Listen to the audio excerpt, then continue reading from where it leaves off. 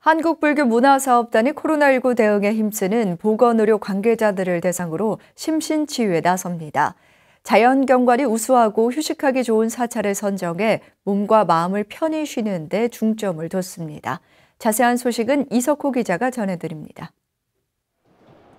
코로나19 대응에 앞장서고 있는 의료인과 관련 공무원 등을 대상으로 한국불교문화사업단이 특별 지원 프로그램을 제공합니다.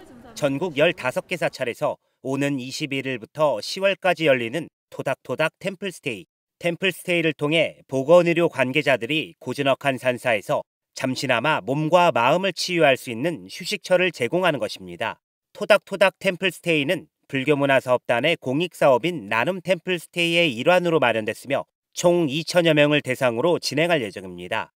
이분들에게 조금이라도 도움이 되고 또 휴식을 통해서 새로운 또 충전을 해서 또 코로나19 대응에 또 더욱더 매진할 수 있도록 그런 이제 충전의 시간, 휴식의 시간을 좀 제공하고자 준비가 됐습니다.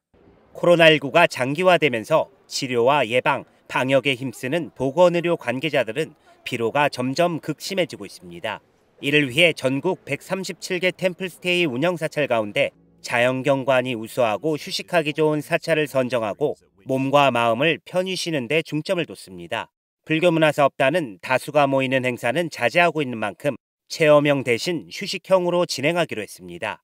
토닥토닥 템플스테이는 전액 무료로 진행되며 참가를 원하는 의료인 등은 템플스테이 예약 홈페이지에서 신청할 수 있습니다. 더욱더 이제 확진자가 나오지 않도록 저희가 관리하는 측면에서도 어, 이렇게 집단 이제 그룹핑으로 운영되는 체험형보다는 아, 개별적으로 어, 휴식을 취할 수 있는 휴식형으로 그래서 운영을 하고자 합니다. 불교문화사업단은 토닥토닥 템플스테이 운영 사찰을 20곳까지 늘리기로 하고 연장 운영도 검토할 계획입니다.